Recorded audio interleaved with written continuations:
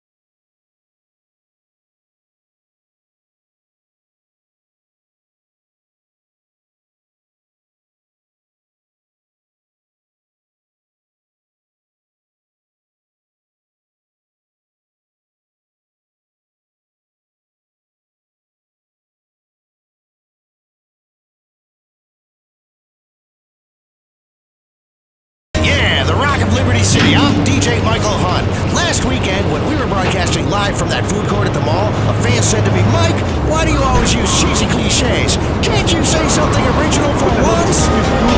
Hey, I'm not here to be original. I'm here to rock. Rock around the clock 24-7, dudes.